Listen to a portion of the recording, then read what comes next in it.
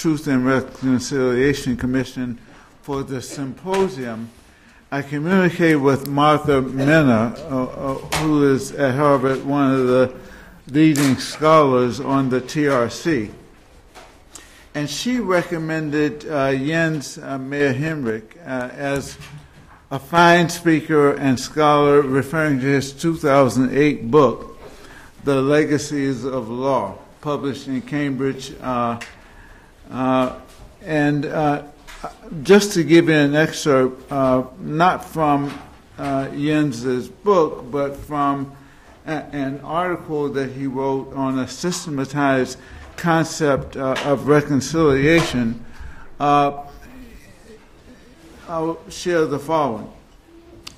Jens writes Improved conceptual awareness is essential for understanding the causes and consequences as well as the courses of reconciliation. At best, the current methodological practice sows conceptual confusion. At worst, it creates conceptual misunderstandings that call into question research findings as well as practical achievements in pursuit of justice in times of transition. Concept formation is concerned with the most basic question of social science research what are we talking about? Answers to this question are indispensable for moving from concept formation to proposition formation to research design in the methodology of the social sciences. These interdependent tasks form the foundation for explanation and understanding.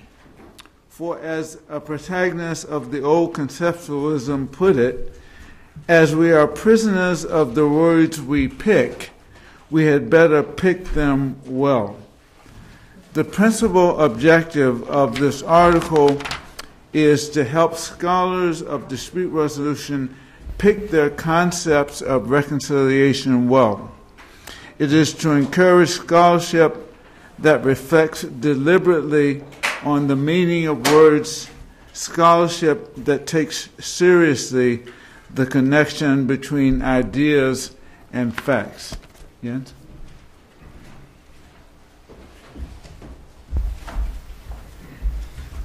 Thank you, Professor Sharp, for your kind introduction, and I'm very grateful to be here today.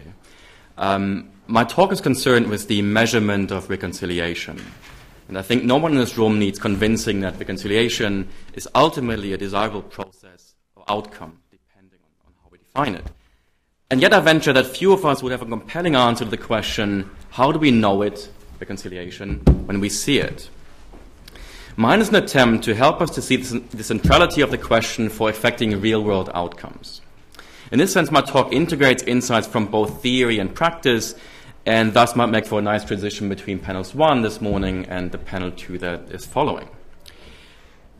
My talk deals with the promise and limits of reconciliation in the wake of what some of you might consider unforgivable acts and omissions, namely international crimes. And we had a few people uh, invoke a number of these crimes and against the Holocaust and genocide more generally. Um, these are the issues that I'm grappling with, and I'm concerned with reconciliation in the aftermath of these kinds of um, events. But before I commence with the analysis proper, let me explain how I became involved in the study of reconciliation and why I care about measurement. As you might have um, gathered by my accent, um, I'm German. Um, so the preoccupation with reconciliation and international crimes is both personal and professional for me.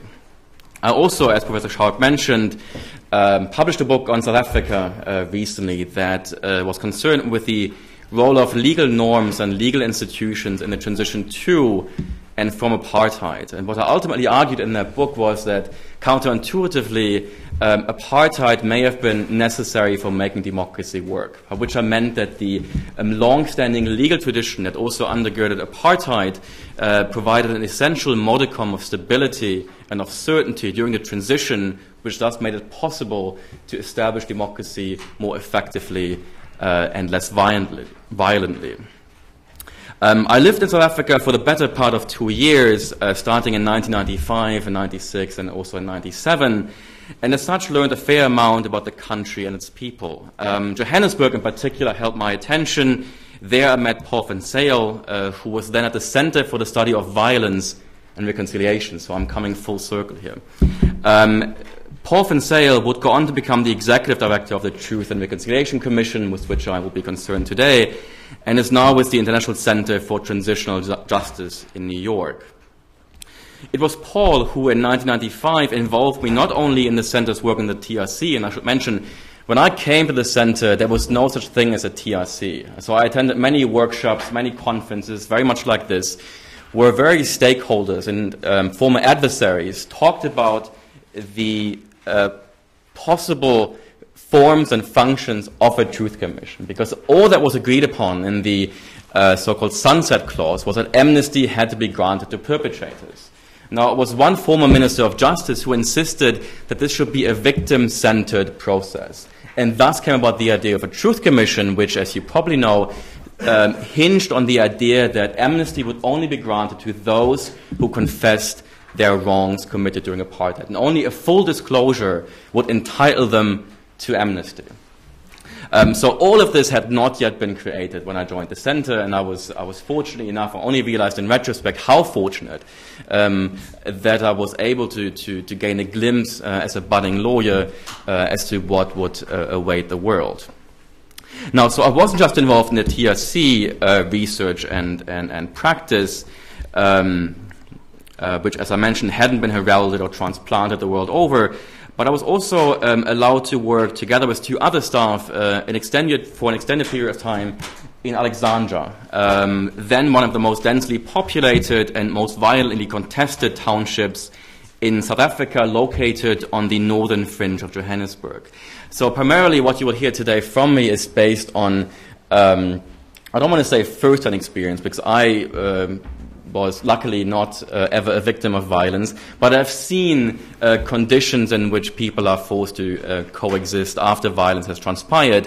So many of these experiences, whether in Cambodia, uh, in Rwanda, in Argentina, uh, or, or South Africa, have informed my thinking about concepts, about ideas and facts as well. Um, so it was Alexandra that I acquired a feel for the convoluted politics of South Africa and notably for the real and imagined cleavages that had driven it apart. In May 1995, the National Peace Accord Trust had commissioned the center uh, where I was employed to facilitate change in Alexandra.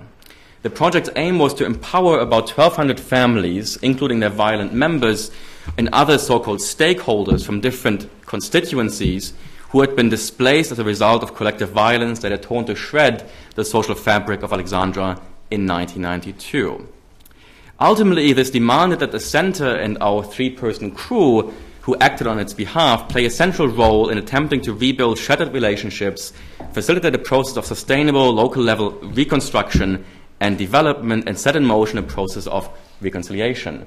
I'm using um, the inverted commas in order to draw attention to the slogans that have been floating around uh, much of the field of, of, reconciliation studies and so on because they often become meaningless the more often we use them. They're all uh, associated with some inherent value and goal, and yet I think we often don't step, uh, step back and, and ask ourselves um, what their meaning really um, contains. And this sort of echoes some of the remarks made uh, during the first panel as well. So I'm not sure what, if any, our contribution was in Alexandra, but I remain truly grateful for the township's hostel dwellers and inhabitants.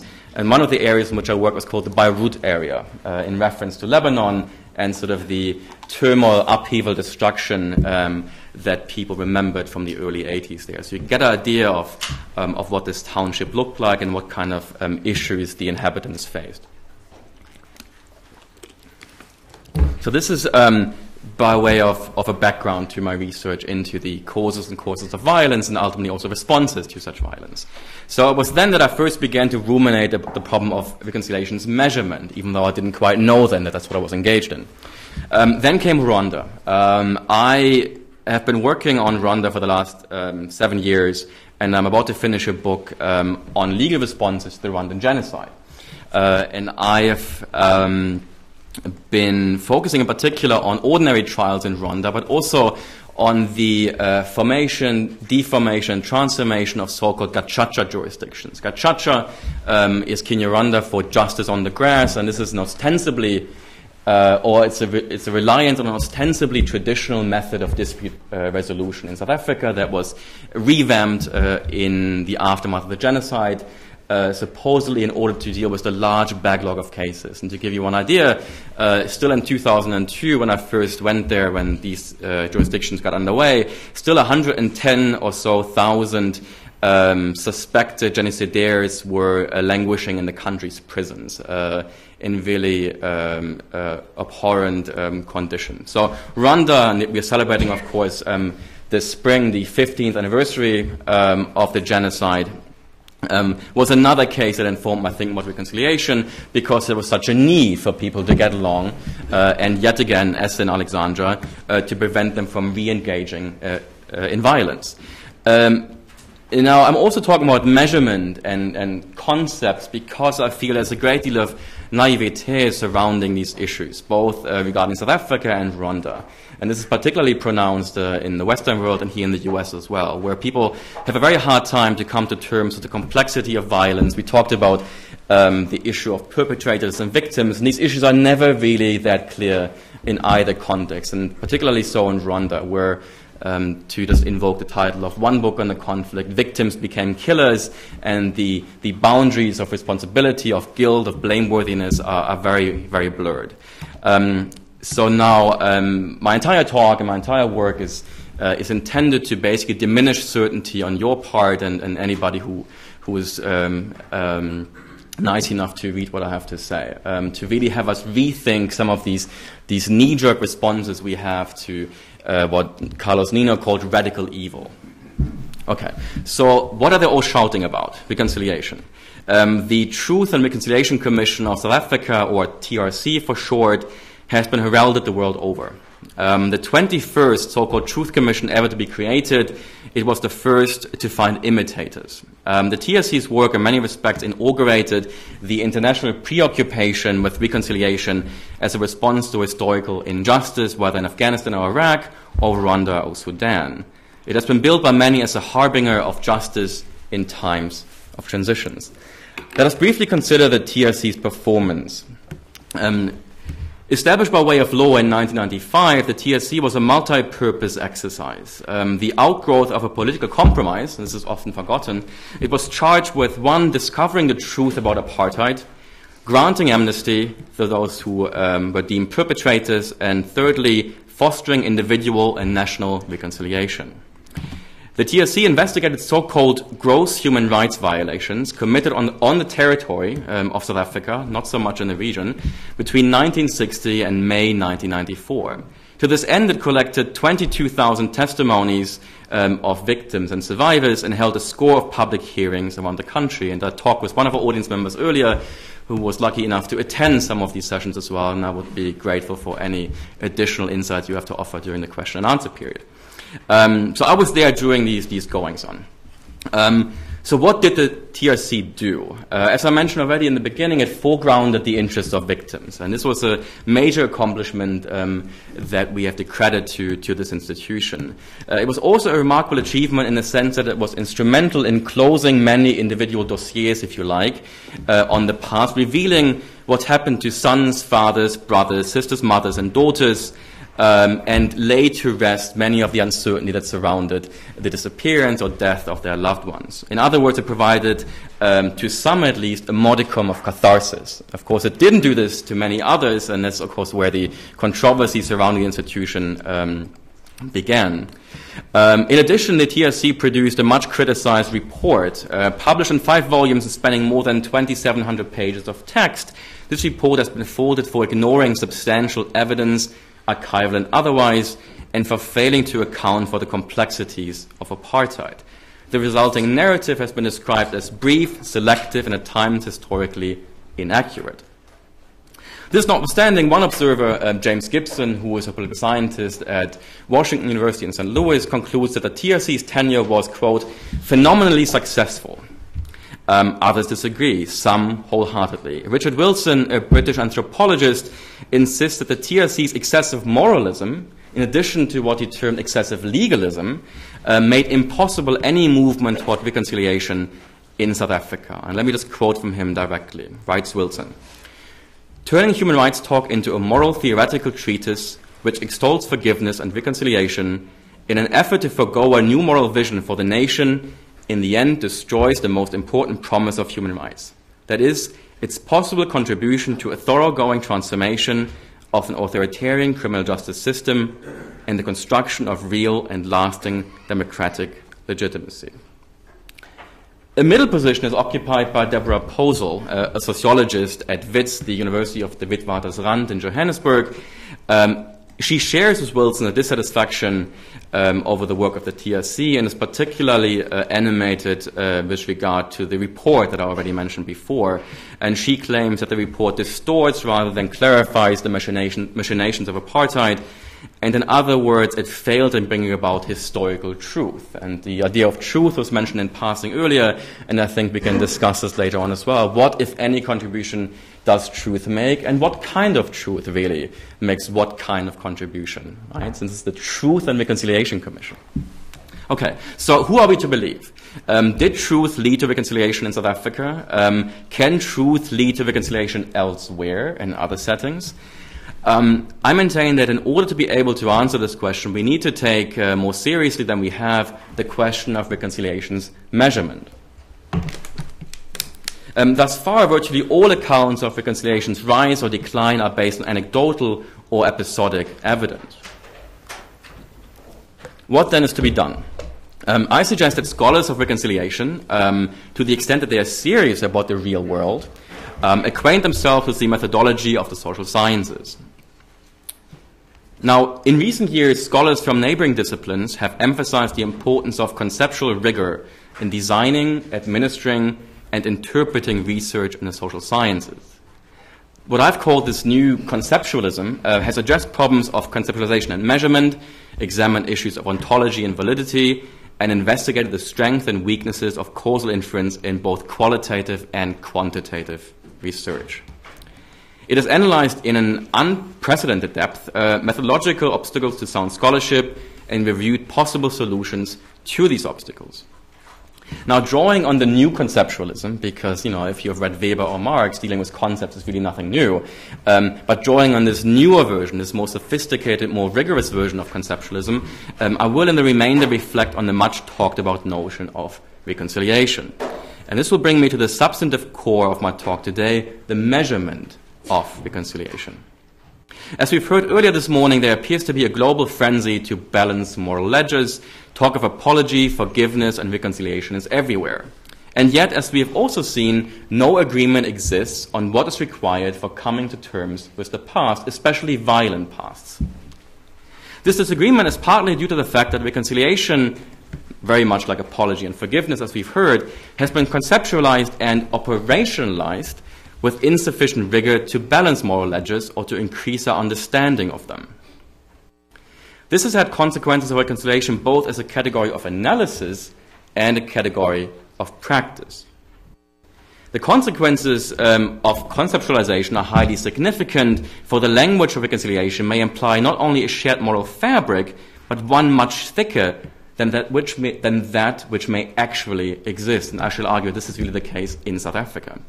Um, thus, it has the potential to coerce individuals into compliant positions they would not adopt of their own volition.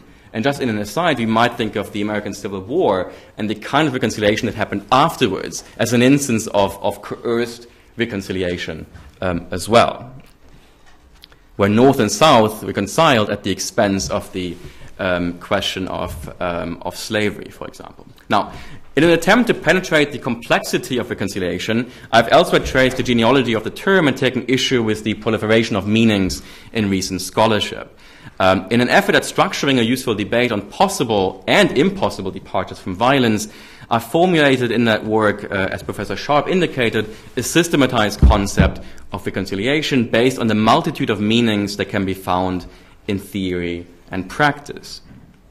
I distinguish varieties of reconciliation and organize these into various types and subtypes. Um, but the intricacies of my work need not concern us here. Um, but allow me to sketch for you in broad outline my concept of reconciliation. Now, in everyday life, reconciliation means different things to different people, as exemplified, for example, by the entries in the Oxford English Dictionary, the OED. The first available entry in the OED's second edition of 1989 defines reconciliation as the, quote, action of reconciling persons or the result of this, the fact of being reconciled. Um, this is the first usage found in 1386. Subsequent entries refer to the, quote, reunion of a person to church, unquote, 1625, the, quote, purification or restoration of sacred uses, uses of a church, etc., after desecration or pollution, unquote. This is 1533. Um, the former of these meanings is characteristic of religious interpretations which portray reconciliation primarily as the solemn and public act of readmitting into church membership an excommunicated sinner. The remaining entries speak of the, quote, action of bringing to agreement, concord, or harmony, unquote. This is from 1560. And the, quote, practice of rendering one account consistent with another by balancing apparent discrepancies, unquote, 1895. The verb to reconcile has seen a wider usage over the centuries. The collected meanings range from bringing a person, quote, again into friendly relations to or with oneself or another after an estrangement, 1382, to bringing, quote, back into concord to reunite persons or things in harmony, 1429. And from efforts at restoring to purity to absolve or cleanse, 1430, to bringing into a state of acquiescence with or submission to a thing, 1606. So, although noteworthy, um, uh, while comprehensive, the conventional meanings are just reiterated of reconciliation are inadequate for really furthering explanation or understanding in any systematic fashion, at least. And, and I claim that a systematic understanding is what we should be all after. Um, now, instead, I built what um, some other scholars refer to as a systematized concept of reconciliation.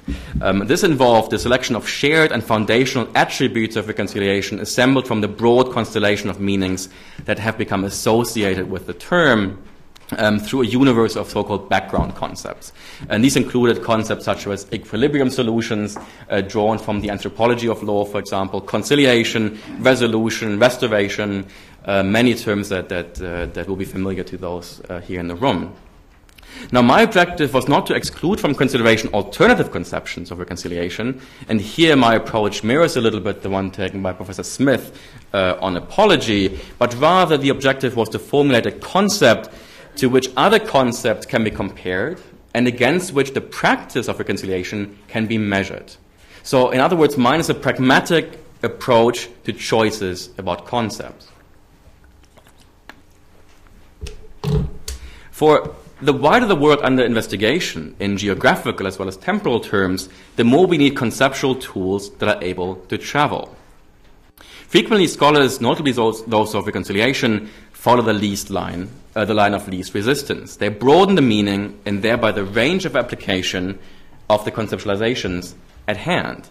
In other words, the larger the world, the more scholars have resorted to what some have called conceptual stretching. The problem of conceptual stretching resurfaces in the study of reconciliation, for the term has been applied to a large universe of phenomena ranging from mere coexistence to the genuine restoration of relations among former adversaries. Now, the net result of conceptual stretching is that gains in denotative coverage tend to be matched by losses in connotative precision. We cover more in traveling terms only by saying less and by saying less in a far less precise manner. For example, by defining reconciliation as an agreement, quote, among antagonistic subjects to depart from violence in a shared present, as John Borneman does, is guilty of conceptual stretching. Again, he says reconciliation is an agreement among antagonistic subjects to depart from violence in a shared present. He says that is reconciliation. I say that is conceptual stretching. Um, so the problem of conceptual stretching arises either when a concept is applied to cases for, which it is not, not appropriate, or secondly when a concept is defined so broadly that it would cover situations for which it is not appropriate. Um, The latter is a problem of stretching uh, that can arise in studies that have no empirical referent, and Borneman's definition of reconciliation falls into this category. His conceptualization as an agreement among antagonistic subjects and so on is so broad as to be meaningless. It covers everything from the reconciliation agreement um, of 403 402 BC in Athens, which led to the restoration of democracy, to the Treaty of Versailles, which led to everything but democracy. Uh, and also, he doesn't uh, pay any attention to the state of mind of the person engaging, or the persons engaging in reconciliation. So I would say these two examples, Athens and Versailles, uh, neither was an instance of reconciliation, but rather of re-equilibration, which is something altogether different, far less demanding, and I will talk more about this. Now, I believe the problem of conceptual stretching is of particular significance in the context of reconciliation because of the normative dimensions of the concept. The effect of excessive conceptual stretching is the erosion of reconciliation's normative connotation. With this in mind, I propose the following systematized concept of reconciliation. Reconciliation refers to the accommodation of former adversaries through mutually conciliatory means, requiring both forgiveness and mercy. Interestingly, mercy hasn't come out at all today, and, and I actually find it quite useful um, for my discussion of reconciliation. Where forgiveness connotes the forswearing of resentment, the resolute overcoming of the anger and hatred that are naturally linked, uh, directed toward a person who has done one an unjustified, who has done an unjustified and non-excused moral injury, and mercy connotes the extension of an act of compassion to the undeserving person who has committed an unjustified and non-excused moral injury. The details don't really uh, need, need, not concern us here because I won't go into, into that direction. But uh, at the bottom, the bottom line is reconciliation requires both forgiveness and mercy. And incidentally, I disagree with Professor Griswold's uh, bilateral conception.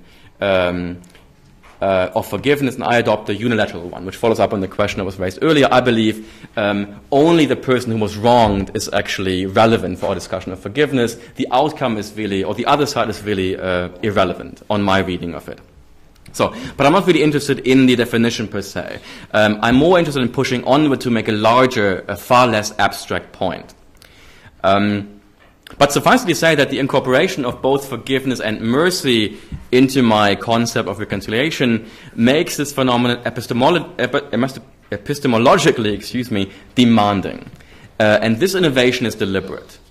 If reconciliation uh, is to retain its connotation as an ultimate value, we must, I believe, rein in the conceptualization of uh, this phenomenon as a category of analysis and, and practice. So we have to have more modest goals. And it's for this reason that I came up with my concept, which I take to be a, a narrow or maximalist uh, conception of reconciliation. Uh, it calls for nothing less, essentially, than an ethics of caring for the enemy. Now, this also underlines the consensual and voluntary nature of reconciliation, as I theorize it. Absent either of these conditions, the accommodation of differences is coexistence at best. So, forgiveness and mercy and has to be consensual and voluntary as well. And I think this excludes many cases that we have deemed success stories of reconciliation. Now, reconciliation will be consensual, I believe, if all affected parties choose to pursue accommodation. For reconciliation to be consensual, it need not involve the settlement of underlying discordance. The necessity of consensus relates to the process of accommodation rather than its substance. And this is somewhat reminiscent of Jürgen Habermas' uh, notion of, um, of procedural democracy, if you like, um, and what he outlined in his theory of communicative action. Um, okay. Reconciliation will be voluntary, as I see it, if all of the affected parties choose to pursue accommodation out of their own volition. To be reconciled with a person is to accept that person as someone with whom one could cooperate in shared projects placing aside feelings of hostility or injury that might make such cooperation impossible. The requirement of voluntariness is often honored in the breach, and this is particularly true uh, about Rwanda, and I'd be happy to talk about this in the question and answer period. Uh, but another example is the debate over the Jedwabne massacre in Poland. Um, and you may have heard about this, this case. A book was written by um, uh, uh uh, Gross about this, this massacre with Princeton. Uh, and one contributor to this debate over this massacre in, in Poland identified traps of premature forgiveness. And she noted that forgiveness cannot be forced upon a group representing the victims. In the opinion of this commentator, such forgiveness cannot lead to real reconciliation. And this brings me back to the cases with which I began, especially the case of South Africa. Now, returning to the measurement of reconciliation. The principal, current, uh, principal concern of operationalization or measurement differs from that of conceptualization. Uh, and I just talked about the concept, and I will stop talking about the concept and move on to the measurement question. Now, whereas conceptualization asks, what are we talking about? Operationalization is concerned with the question, how do we know it when we see it? Now, having defined what reconciliation is and is not, how do we capture its presence or absence in social life? On the basis of my concept or any other concept, what indicators are necessary to produce scores for empirical cases? Or is reconciliation, as one observer noted, uh, a concept that cannot be measured? I maintain it might be hard, but if we are um, interested in making inroads and actually designing policy, we better have standards that actually allow us to uh, ascertain whether or not our policies or prescriptions are successful or not. Absent such standards, we might as well not engage in these uh, activities, precisely because they often may have unintended consequences. They may actually make matters worse. And this is actually something that happened in Rwanda. It happens in many other contexts where well meaning people prescribe policies. Um, that lead to further suffering, not less suffering. So while this commitment to reconciliation is a good thing, its pursuit or uh, its prescription as a policy may not always be advisable. It may not be advisable as such. It may not be advisable at a given moment in time. And I think we ought to be able um, to, to realize when and why and how reconciliation uh, may not be coming about. Now, uh, in an attempt to provide a tentative answer to the question of how we know when we see it, I'll briefly examine James Gibson's extensive work on the salience of reconciliation in South Africa. Uh, James Gibson, as I mentioned, teaches at Washington, and his um, two books on South Africa, and there's another one forthcoming, and there's various articles, are the first really um, sustained attempt to move in this direction. He's the very first person to really take this question of measurement seriously. I think he errs in many respects, as you will see, but I think um, his effort is, um, is laudable and is, distinguishes him from much of the, what I would describe like touchy-feely discourse about reconciliation that is pervasive out there. Um, so by relying on Gibson's work or by, by uh, um, sharing it with you, um, I'm able to exemplify some of the operational difficulties scholars face in measuring reconciliation. And also, uh, it allows me to put to exemplary use my concept that I just uh, sketched for you in the preceding part. In its uh, five volume report, the TRC of South Africa distinguished a number of human relationships that required restoration qua reconciliation, namely, and I quote here, relationships of individuals with themselves, relationships between victims, relationships between survivors and perpetrators, within families, between neighbors, and within and between communities, relationships within different institutions, between different generations, between racial and ethnic groups, between workers and management, and above all, between the beneficiaries of apartheid and those who have been disadvantaged by it. This echoes the previously introduced distinction between, uh, and I didn't talk about it much, but between types of reconciliation and subtypes, and the utility of distinguishing among subtypes. And um, the TRC has failed in many regards because it didn't actually take seriously um, the notion with which it was primarily concerned, namely reconciliation. Uh, it didn't distinguish among any of these and set itself up for failure, essentially. Um, and I'm, not, I'm not the only person to, to say so. Um, so the TRC fell short, and due to political and organizational dynamics, of advancing a working definition, um, a definition that would have made it possible to measure progress in the realization uh, of its mandate, i.e., the achievement of truth and reconciliation in a divided society such as South Africa. Um, as one observer writes, defining exactly what was meant by reconciliation remained one of the great incomplete tasks of the Commission. Now, this brings us to the, one of the major challenges involved in the measurement of reconciliation, namely the necessity of inference. because it is impossible to define the phenomenon of reconciliation in terms of the operations that are used to measure it, any research design must rely on inferred measurement rather than direct measurement. Right? Uh, in the most systematic attempt yet, Gibson, in a multivariate analysis of survey data, measured the salience of reconciliation, especially between racial groups. So he only took like one of these relationships that the TRC believed had to be restored. In his book, um, Overcoming Apartheid, Gibson defined a reconciled South African as someone, quote, who trusts and is respectful of those of different races, who is tolerant of her or his political enemies, who is committed to protecting human rights through the, through the rule of law, and who extends legitimacy to the political institutions of the new South Africa. Succinctly put, uh, Gibson views reconciliation as a product of interracial reconciliation, political tolerance, a human rights culture, and institutional legitimacy. To illustrate problems of measurement in overcoming apartheid in his book, uh, and difficulties in the measurement of reconciliation more generally, uh, I hone in on the first two of what Gibson interchangeably refers to as subdimensions and levels of reconciliation, namely interracial reconciliation and political tolerance. Uh, and by so doing, I hope to make a stronger case for a maximalist conception of reconciliation. Let me begin with Gibson's subdimension of interracial reconciliation.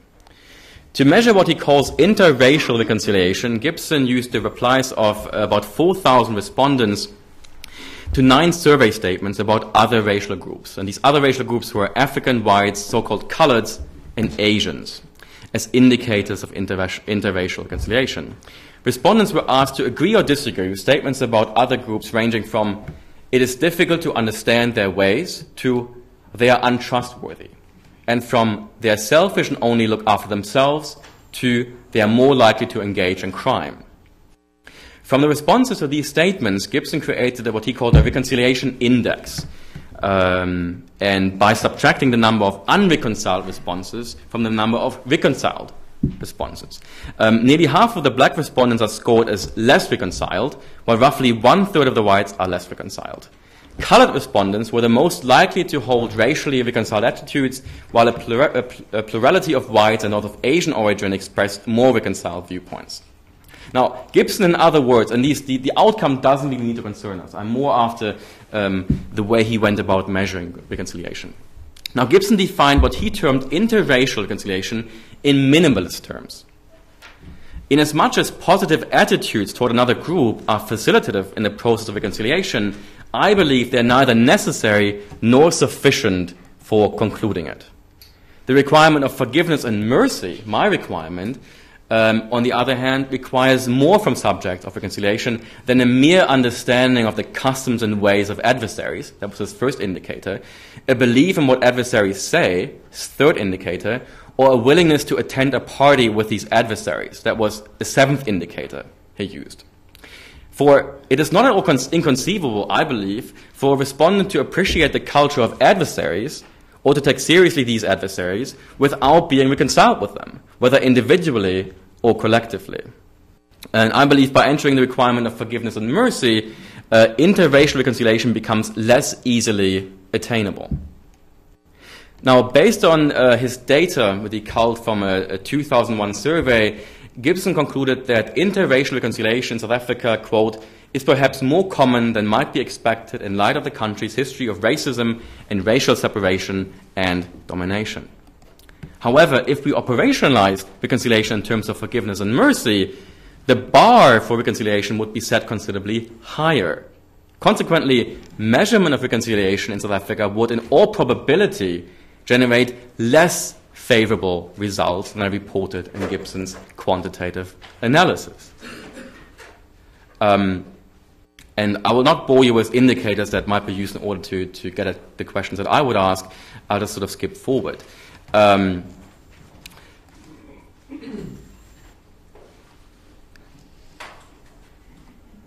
and um, overall, I, I, would say that um, a comprehensive survey research based on different concepts than the one that Gibson used um, might show a lower salience of reconciliation in South Africa than the data collected by Gibson. Uh, and there's qualitative data to bear out this fact. Uh, There's various anthropologists who've gone to townships and who've talked to hostel dwellers um, and have, have made this claim, found evidence for the claim that basically this uh, the achievement of reconciliation was rather superficial in South Africa. Now, um, be that as it may, at least it raises questions about the um, the desirability of transplanting this much heralded institution to other contexts, especially to transplant it without any um, uh, amendments, if you will. Uh, and I'm mentioning these things, uh, they seem to be obvious, but they really aren't. Because if you talk about Rwanda, for instance, which I know, which I know best, um, this idea was contemplated very seriously. People have written about this. There have been many, many delegations uh, were sent to Cape Town and Johannesburg to to explore the possibilities of having a truth commission in, uh, in Rwanda and so on. So um, these things actually have real world meaning um, because people sort of there's a certain contagion effect that is going on, and that's why these questions are not just academic; they really cut at the heart um, of international policy in this domain as well. Like one anthropologist writes about townships in the Vaal Triangle, the townships I worked in. He says, quote, reconciliation through truth was never likely to achieve more than the restoration of social relationships between victims, between victims, where suspicion and stigma had been wrongfully attached to one person or a family. Um, now, in keeping with this, other scholarship has found a widespread desire for revenge that continues or at least resurfaces, uh, and this sort of calls into question some of the quantitative findings reported by, by Gibson. Um, so this, this, this comparison, brief comparison highlights um, the problem or the issue of measurement uh, variation that can result from divergent methodological choices. Um, an argument can be made that the indicators that Gibson used to score interracial reconciliation in South Africa measured the salience of tolerance rather than reconciliation. Which brings me to the second of Gibson's subdimensions of reconciliation. Um, because tolerance is a key element in his four pronged concept of reconciliation. Um, there's a couple of tensions because he doesn't actually define them properly. Sometimes he, he talks about tolerance uh, as being synonymous with reconciliation, then he looks at it as a cause, then as a consequence. So it's very muddled conceptually, uh, which bears out my previous point. At best, scholarship thus far sows conceptual confusion. At worst, it actually impedes practical responses to injustice. Um, now, while it is reasonable to assume that democracies require a tolerant citizenry, uh, Gibson's defense of a minimalist conception of reconciliation in terms of tolerance creates rather than reduces conceptual confusion. For the requisites of democracy, at least I would say, are epiphenomenal to the conceptualization of reconciliation. Um, despite an important relationship, the consequences should not be mistaken for the concept itself. Um, now, equating the two concepts, I believe, distorts measurement of reconciliation salience in South Africa. What uh, Gibson measures under the umbrella of tolerance is not synonymous with reconciliation, but a phenomenon that is epistemolo- epistemologically less demanding. It's, it's easier to be tolerant than to be reconciled with someone. And I think if you think about your personal context, uh, you will very quickly find evidence for that. Um, and again, also one major reason is that tolerance is a, is a unilateral um, act, whereas reconciliation, is the way I conceive it, requires uh, actions from two different parties, which makes it, again, more demanding uh, than tolerance. Um, now, and this brings me to the limits of minimalist conceptions of reconciliation more generally. Um, the problem with minimalist conceptions uh, becomes evident if you turn once again to South Africa. Uh, measurement on all four subdimensions of Gibson's reconciliation index resulted in the following mean scores 59% of so called colored South Africans, 56% of white South Africans, 48% of Asians, and 33% of Africans are scored as reconciled. Overall, Gibson finds that about 44% of South Africans are somewhat reconciled, celebrating this as an unexpectedly high level of reconciliation. Now, what's wrong with this picture? Um, in, as much as, Gibson's operationalization of his concept um, is logically sound, the scores derived from his indicators can be meaningfully interpreted um, and, and can be interpreted. It is arguably empirically problematic for some of the reasons that I mentioned before, and I will just skip this section uh, in the interest of time. Um, Now, while Gibson's indicators um, are well suited to measuring the state of sustainable democracy in South Africa, they are less well suited to measuring the salience of reconciliation. Uh, as he notes, uh, and he, he admits this much when he discusses uh, a township called Sharpeville in South Africa, where much of the violence actually transpired uh, during apartheid, he concedes this fact. Um, and aside from the stories of reconciliation failure uh, abound in South Africa, and sort of in an aside, you might consider a number of cases brought by families of victims that were brought before the South African Constitutional Court, and all of this at least paints a far more complicated picture um, than Gibson is able to, to paint from a macro perspective without actually doing the kind of interpretive research that Wilson and others, and I believe, are necessary for truly getting also the, at the meaning of reconciliation, not in a definitional sense, but in the meaning, uh, in the anthropological sense, like the meaning of uh, reconciliation for people on the ground. Because again, it might be in the eye of the beholder what that really means.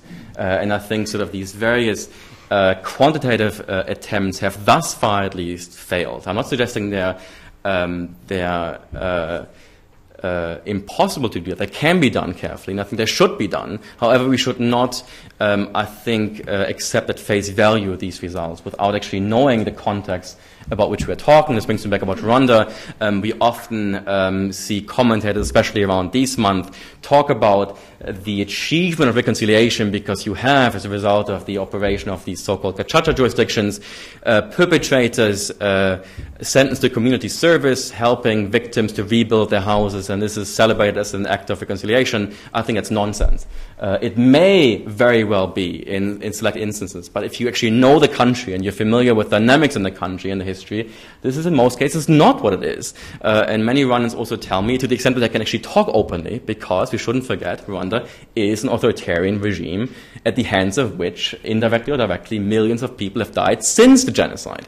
Um, so Many Rwandans tell me also, well, we have no choice. There's nothing else to do but to reconcile. It's a tiny country. It's one of the poorest in the world.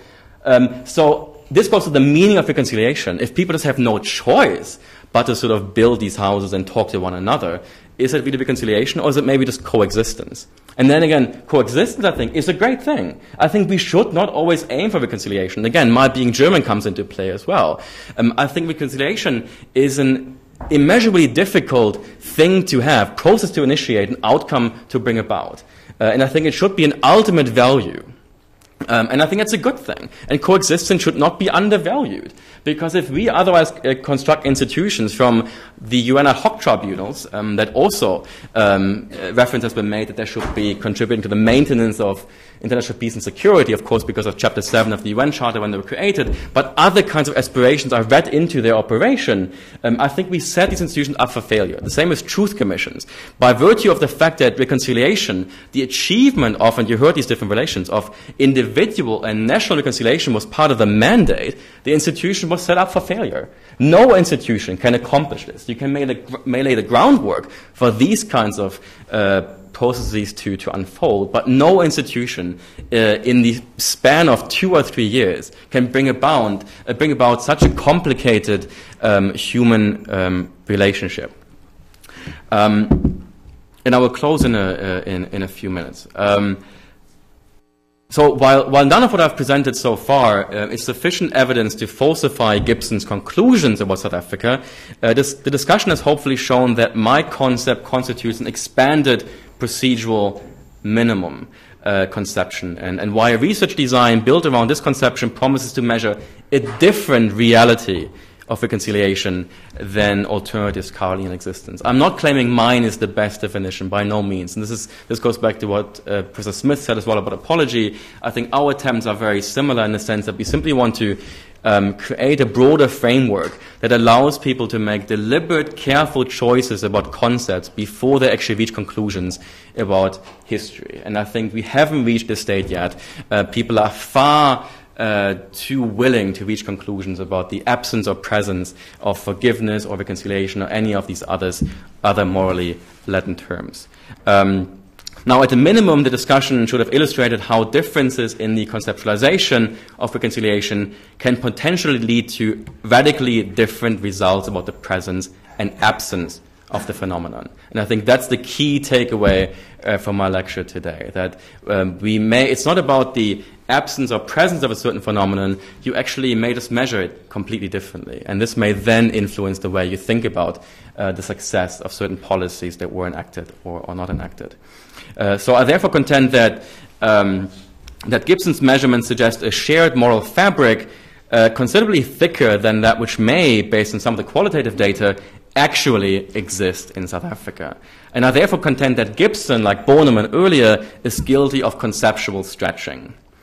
Um, so to conclude, to the extent that the quantitative analysis of reconciliation is important and indispensable part of studying the consequences of collective violence, it should be complemented with studies that take a smaller n as their unit of analysis, be it a village or some other form of local community. So you might think about Cambodia, another case I've studied. Um, you might inquire into the meaning of reconciliation in Cambodia. You might talk about forgiveness and mercy uh, as a starting point, as just a standard against which to measure uh, local understandings, but then ask yourself, well, do forgiveness and mercy play any role in Cambodia and society? They may not at all, right? Whatsoever. And then you have to sort of take that into account by what by how can we measure it? How can we see it when it happens? And we can't transplant very simply a concept that makes sense in, in our Christian uh, or other uh, or Jewish tradition or so on. We have to actually be attuned to local pe- uh, uh, pe- uh, specifics and, and uh, peculiarities. This is not a call for moral relativism, by no, by no means. Um, but I think we have to be we have to be able to understand the societies which we study. Um, otherwise, we may actually uh, find something that's not really absent at all. It just it's just present to the extent that it conforms uh, with some ideological construct we have about this phenomenon. Um, now, by studying these smaller communities, um, we would ensure that researchers truly understand, in the Weberian sense, right, sort of an emphatic reading of a given situation, make headway toward the measurement of reconciliation, ultimately the pursuit of reconciliation, the policy of reconciliation. Like the combination of nomothetic and idiographic reasoning uh, promises to be a useful strategy in the study of reconciliation, um, specifically for attenuating um, these operational difficulties scholars face. Um, and I've tried to exemplify some of these difficulties today by placing Gibson's pioneering analysis, and again, by notwithstanding anything I've said, I still believe it is a pioneering analysis and an, a, a, groundbreaking work um, that requires engagement. But nevertheless, um, um, um, by placing it alongside a hypothetical analysis informed by different concepts like my own, um, that reconciliation uh, uh, requires further study. Now, the discussion of these two systematized concepts, Gibson's and mine, was meant to illustrate the importance of distinguishing um, issues of measurement, operationalization, from issues of meaning, conceptualization. And unfortunately, time constraints disallow a comprehensive analysis of this and other issues involved in the study of reconciliation. Um, but the remarks on measurement that are presented uh, were meant to complement the focus on, on the concept in the earlier part. Uh, operationalization, uh, as Professor Sharp um, quoted me earlier, is the linchpin that connects categories and cases or ideas and facts and constitutes a methodological task second only to that of conceptualization. And as far as the latter is concerned, I firmly believe that the formulation of realistic concepts, one scholar, Susan Dwyer, talks about realistic concepts of reconciliation that are more attainable in practice, um, is counterproductive. I don't think we are, we are not served well by having attainable concepts in practice. For I believe if reconciliation is everywhere, it is nowhere. Thank you.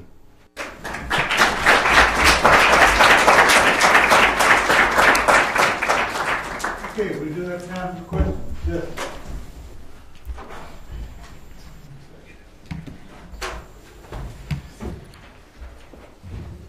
Um, this this concept of, of reconciliation.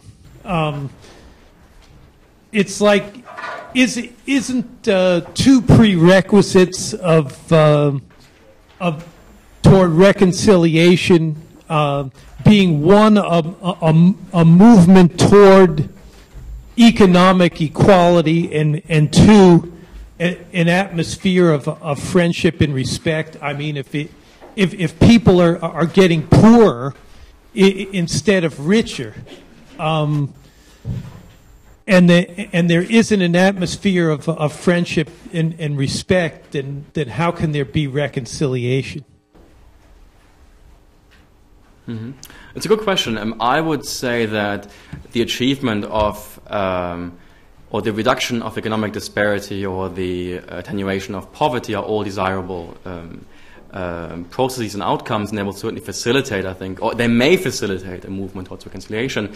But I, I personally wouldn't say that they are necessary um, attributes of reconciliation. The same with friendship. I think friendship um, is a concept related to reconciliation, but not necessary. I think if friendship were the goal, it would be even more demanding. Um, and I think enemies need not be friends in order to be reconciled. I think it is about the underlying issue that, that drove uh, adversaries apart that needs to be addressed. I think it need not go as far as, as, as friendship uh, in order to constitute uh, an instance of reconciliation. I, I guess I have the microphone. is it working? It is working, yes. Uh, fine. I'd just like to add to your remarks, because I think they reinforce, perhaps punctuate them, some of my own observations about uh, attending the Truth and Reconciliation mm-hmm. Commission hearings. I went in 1998 when the TRC was winding down. It was maybe the last few hearings before they wrote up their report. And uh, I went to Mamelodi, a, a township outside of Pretoria, in this giant auditorium where on one side of the auditorium was a microphone marked Sesotho, and all the Africans were sitting over there. Probably, indeed, some of them had buttons that read Family of Victim. And on the other side, a dozen white people. I sat among the Africans as a small token of solidarity, but I also wanted to get the vibes from them, what they were doing and saying as the testimony took place. First of all, they were 40 meters from the testimony, divided by a big space. Those who testified were up on the stage. It, there just was no way these people could relate to what was happening. And moreover, the way the tables were arranged, they couldn't even see because there were television cameras in the way and so forth. It just wasn't physically set up to bring about reconciliation in any fashion whatsoever. These, this hearing involved 10 police officers who were accused of torturing to death, disposing of the body, and then planning the cover up of one relatively small potatoes operative for the ANC. The testimony went on for hours. tremendous detail about the torture. It was unsettling for me.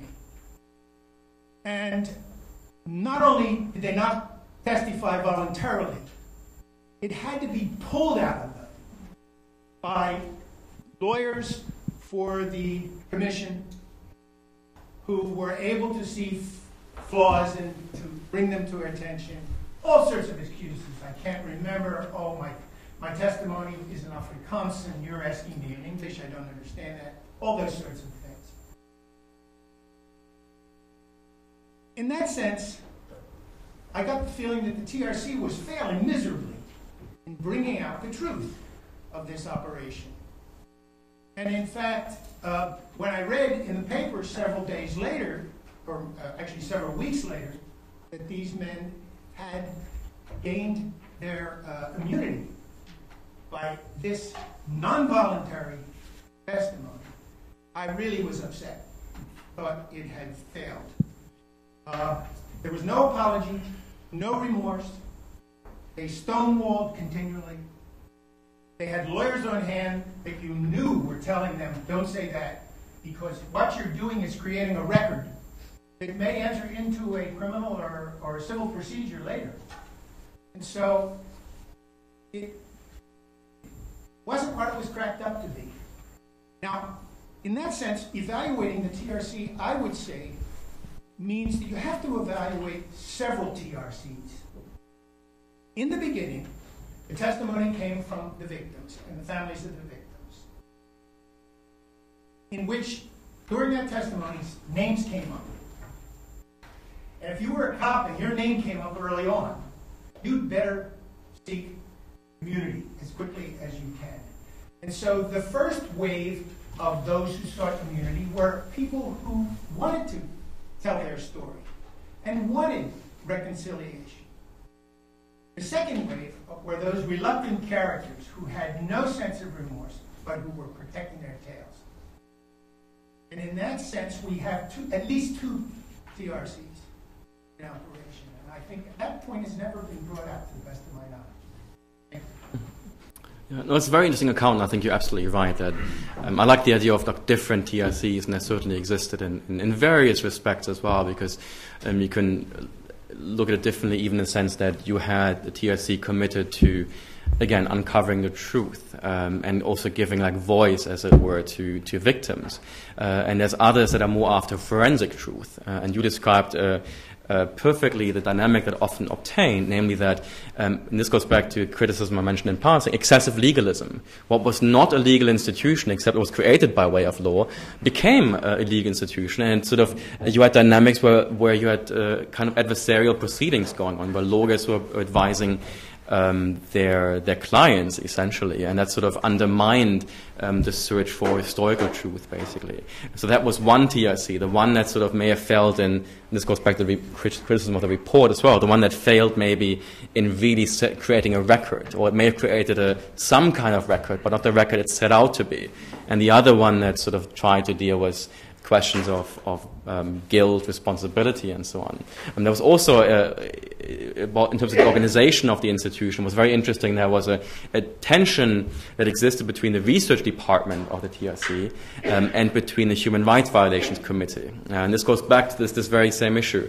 The research department was very interested in, when they went out of the field and collected testimony, for example, to also give people a chance to tell their stories. And there was, they had, they had sort of nice forms that had to be filled out, and that makes sense to create a database. Initially, this form had a section where um, victim survivors could tell their story. It was a fairly big chunk, and they could fill it out. And this was a way of, you know, catharsis, like moving towards catharsis.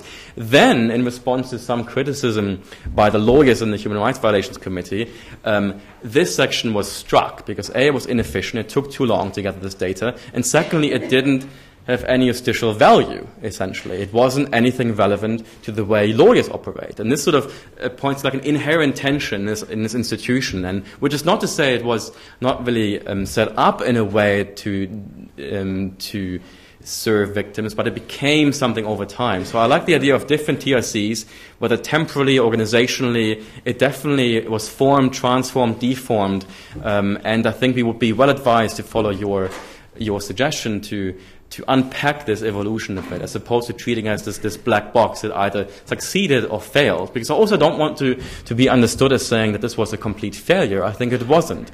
We just need to have, I think, a differenti- or paint a differentiated picture um, of this institution's performance. Okay, we have a question here and then Charles. I'd like to ask a question about Rwanda. Mm-hmm. If it's only coexistence and not reconciliation, what do we have to look forward in the future? I was in Rwanda a year ago. Very, very impressive country. Lots of good things happening over there. And Rwandan families that I'm very close to here who have absolutely the worst of the genocide, unbelievable people, have come here. The thing that shocks me is how absolutely positive they are, how happy they seem to be, how they've reestablished families. I wonder how they can be as positive as they are considering what their background has been. Uh, through that horrible genocide. My question is, if it's only coexistence and not reconciliation, is this just suppressed enough that we're up for more problems in the future? And how can we avoid that? Mm.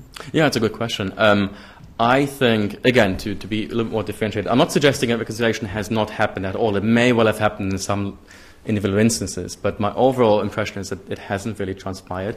And the happiness you describe, um, I'm not suggesting it doesn't exist, but um, having known the country a bit, um, this is um, pretense for the most part, for a number of different reasons. Uh, years and years of living. I mean, I've known this family years. I've seen no. I'm not suggesting in, in your particular. This may very. I'm just sort of generally speaking. A, and this is very similar to like when I first went to Rwanda and I sat down. I came from Burundi. Um, and I went on the ground, I felt immediately at home. And I realized later this was because I was German. The country is, is very akin to Germany in the respects of like order, obedience, authority. All of this is very important. And um, as a white person who's introduced as a uh, or any foreigner for them. It doesn't even have to be a white person. I have a very good African American colleague uh, who went to South Africa and he felt white for the first time in his life because he was treated as if he were white, not black. Um, but in any event, um, anybody would be considered an authority figure. Uh, Rwanda is a very violent country that is a repressive state, so people have to be very careful uh, what they say at any moment in time. And it's very difficult to know what will ever get back to, to whom at what point in time. So you're better off, again, this is a general argument, you're better off to suggesting things are peachy in Rwanda than in any way even um, allude to any problems that might exist. And I have a number of people um, who've been detained. I have a few people who we brought to Harvard as, as so-called scholars at risk, um, who whose names appear on death lists um, for nothing more than simply criticizing the regime. Uh, and uh, President Kagame was supposed to come to Harvard on the 20th for for debate um, with me and my colleagues. He has now postponed it. Um, but the regime is, is not very keen um, on, on being challenged. Um, and any challenges will be met with met very swiftly, especially in the country. Uh, and the country is tiny. It's the size of like what is it? Connecticut, maybe. It's really tiny.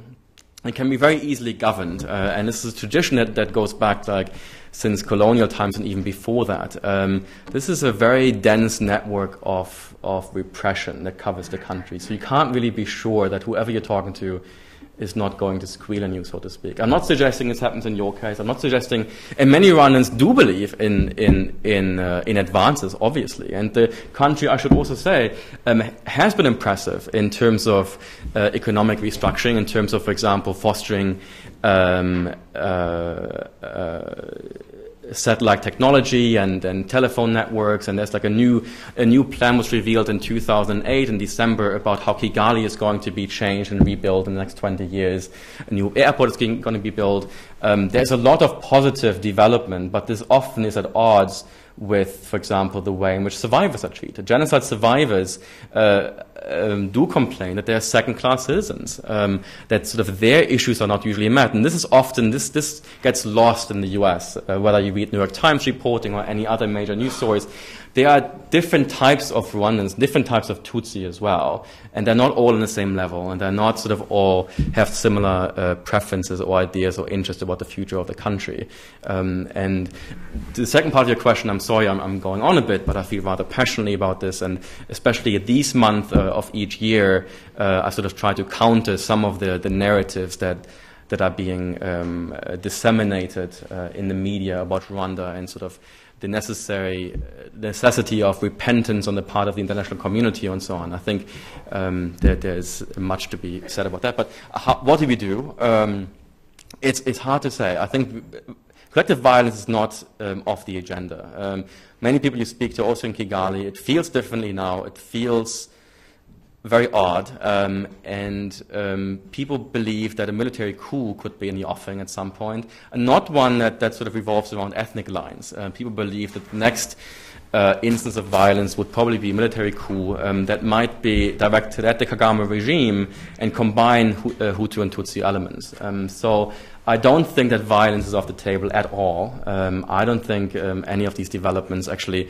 um, have deep enough roots to prevent um, us from returning uh, to collective violence. What is to be done? Um, I would say the US has a particularly uh, important role to play in this because the U.S. is like the major a major donor and business partner of Rwanda, uh, and Kagame also comes to the U.S. I call it his stomping ground um, because the U.S. is Rwanda's closest ally. So there's a lot of leverage that can be exercised over, say, the treatment of opposition politicians, or, for example, uh, the the ban on on independent human rights organizations that de facto existed could be lifted.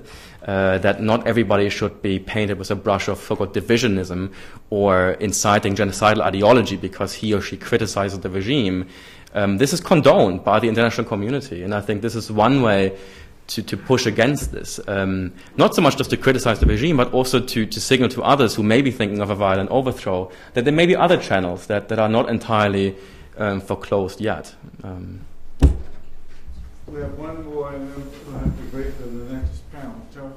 Thanks for the most interesting talk. Um, I'm puzzled by your definition of reconciliation. Uh, you said that forgiveness and mercy and I think care for the enemy are necessary conditions for reconciliation. And it seems to me that there are a number of good reasons not to accept that. Um, I'll just name a couple of them. First, uh, you said correctly that um, reconciliation is bilateral. You can't be reconciled with somebody who's not reconciled with you. On the other hand, you said that forgiveness, which is one of the necessary conditions for it, is not bilateral, it's unilateral. So I think there's a problem in combining those, those two. Secondly, your definition seems to rule out cases of reconciliation that we would normally uh, want to count as reconciliation, for example, between the United States and Vietnam. I'm talking about reconciliation between nations. But cases in which there hasn't really been forgiveness, or there may not have been forgiveness, in which case forgiveness can't be a necessary condition of reconciliation. So I wonder why we should accept your, what's an implicit demand that we drastically revise our use of the term. Um, thirdly, I'm not sure that it really makes any sense to talk about forgiveness in a political sphere when we're talking about nations, um, except in a very metaphorical sense. Uh, we don't really talk about, you know, the United States forgiving um, somebody, another nation. I'm very suspicious of that kind of talk, but you would have to accept it, and I think that's quite problematic. Um, and finally, with the terms of the measurement issue, which is your issue, um, if you do build in forgiveness as you have, it seems to me you doom the possibility of quantitative measurement. I mean, how are you going to measure forgiveness if forgiveness has anything to do with a kind of change of self and a giving up of a, an emotion, especially on the political level? So I think, in a way, what you've done is to take a conception of reconciliation that may be appropriate in the interpersonal sphere, and you've transplanted it to the political sphere, but in ways that end up to be self-defeating. These are excellent uh, points and questions. Uh, naturally, I disagree with um, everything you've said, uh, but but these are nevertheless very. But they're, but, they're, but they're very challenging points, and, and they're not easy to answer. But, but let me take a crack at it, nevertheless. Um, I, I'm not quite sure. I I, let me start this. There's different levels of reconciliation, types and subtypes, and uh, individual collective is, is the most basic distinction. And within each, you have local, regional, national, international. Um, I, I would say, um, and again, I haven't talked about this at all, but I do realize, and this is an important th- point to make because people talk past one another because some talk about international reconciliation, others about interpersonal. So I'm, I'm glad that, that you drew attention to this to this problem. Um, I still believe that the questions of, of forgiveness um, to start the, with the third of your questions or points, um, forgiveness is still a concept. And again, I talk in this instance primarily about interpersonal reconciliation, the cases I mentioned, and maybe national, not so much international. But I think forgiveness is still an, an instance we can talk about internationally as well. And um, I'm not quite sure why we necessarily should say that uh, the US reconciled, uh, and Vietnam are reconciled. I mean, what is the demand for a characterization of reconciliation? I mean, why is that necessary?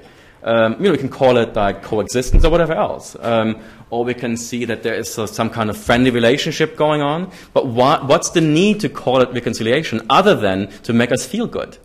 Um, so again, mine is a maximalist understanding of reconciliation. It's not just applied to any and every occurrence that happens to come about. And if you look historically at issues, um, a 50-year absence of violent conflict is not necessarily an instance of reconciliation. I mean, if you just look a little bit longer, you know, uh, countries like France and Germany, for example, remained enemies for quite a while. Just because there wasn't any um, any war uh, does not mean there was reconciliation achieved, and this also doesn't preclude from having business or any other relations. So I actually would question the empirical case per se, but I'll leave that aside. But I think we can still demand, we should demand um, that forgiveness be part of it. Take the example of Poland and Germany, for instance. We talked about this earlier in passing. Um, Willy Brandt, of course, went to Poland in 1972, and he knelt down uh, and, and uh, basically, by so doing, took a step towards atoning for Germany's sins, if you will. We can debate whether or not this was sufficient. An apology, um, uh, I would say, probably wasn't sufficient. And yet, um, why would it not be possible to demand, for instance, in order for full-scale reconciliation between Germany and, and Poland to obtain, that the, that the Polish state, say, qua government, um, accepts uh, or sort of forgives Germany uh, as a state for these kinds of sins committed in 1939 and thereafter. I'm not quite sure why it couldn't apply, why we couldn't make it work. Uh, as opposed to uh, talking about the, the measurement question, um, you're absolutely right to, to point out that this is very difficult to measure. But when I talk about measurement, and I think this is the way we have come to think about things, as soon as you hear measurement, you think data, quantitative, large N. I think about uh, measurement also in a qualitative sense, and this is like the last remarks I made in passing go to this that ultimately you need interpretive studies, you need sort of anthropological approaches to these issues in particular to get a sense as to whether or not there's movement towards reconciliation, towards forgiveness. You essentially have to break down local understandings, if they even exist, of forgiveness or mercy. There may be other terms, like if you're in a Buddhist situation, for example, it may not be about forgiveness or mercy, or it may well be, but somewhat differently. Um, this will be very, very difficult to study, but I think um, we owe it to the subject matter that we, that we take this effort. Um, I think it would be um, dangerous to, um, to conclude that a certain uh, whether it's forgiveness or reconciliation obtains, um, sort of take shortcut to such a conclusion. Um, so I don't have any direct answers. I have a couple of indicators that do exist on this. And lastly, the first point you made was that um, I still believe that that it, it is not mutually exclusive or contradictory to have forgiveness being a one-sided uh, concept and reconciliation a two-sided concept. I just believe that with reconciliation, um, the principal emphasis um, is really on the injured party, essentially. And I think uh, the injured party, and some people have criticized me for suggesting, well, you don't require anything from the offender. Um, and well, I, I, require social interaction, but I do require more from the injured party because the injured party ultimately um, has to do um, has probably a harder time doing the living. And that's why I require forgiveness on that party's part and then mercy in addition to forgiveness. Um, I'm not quite sure that answers your, your challenge. Uh, I doubt it does. Um, but but uh, that's, that's what I have to say for now. Is there time to respond? But there's not time, but just a short. Uh, but I get the last word, right? yes. Well, okay, so just on two of the points, you know, with respect to Vietnam and the United States, I wouldn't say that they're reconciled because they're coexisting. The point is that they've resumed diplomatic relations, they are cooperating economically. There's a whole set of new relations that are, have taken place, mm. um, but not necessarily forgiveness. So that's a good counterexample, I think, to your theory. Um, with respect to um, why can't nations forgive, I think the ultimate answer is because they're not persons. And forgiveness has something to do, on most accounts, um, with a change of self, with ad- uh, adopting a new attitude, with uh, forswearing or moderating resentment. And those are not easily attributed to abstract entities like nations. Mm. So if you want to make your case go, you have to overcome that objection. Yeah. Yeah. Let me try. Okay. Um, I think you are right that we do not treat states as persons, and yet we do at the same time also. And I think just because we haven't yet thought about something in a particular way doesn't mean we shouldn't in the future. Take, for instance, the case of states as international actors. States are treated as, as unitary actors in international law. States are accorded properties of persons, essentially. Especially when we talk about, for example, the arrest warrant issued for President Bashir in Sudan, right? Um, this is basically about the responsibility of states qua heads of states for international crime. So if we assume that this principle exists in international law, I don't see why we cannot go further and treat states as, as sort of akin to persons in another realm. Sure. I think it does require philosophical reasoning, it requires some, some amendments, but I think it's not impossible. I'm not suggesting it's, it's the easiest thing to do, but I think it can be done. I think it is not more or less artificial than attributing a responsibility or any other uh, motives to state, as we have done for centuries, uh, incidentally, in international law. They're akin. But the, the, the, big important disanalogy here is that this has to do with a link to the emotions or the sentiments. So if forgiveness has to do with forswearing resentment and with a change of self, it's that which doesn't get adopted very easily in the case of corporate identity or state identity. Mm. There's issues of responsibility, attribution, all that. Mm. But that's, I think that's the problem. That's, that doesn't transfer. Mm.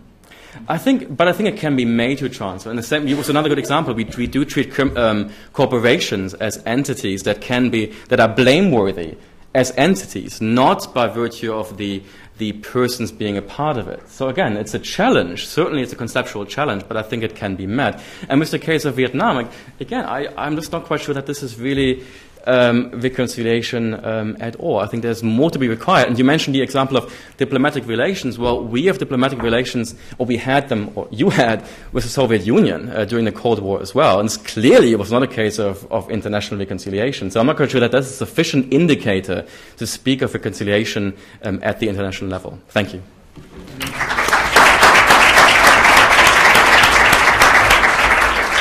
Uh, Thank you very much to Jens for sharing his systematic concept of reconciliation, giving us uh, much to think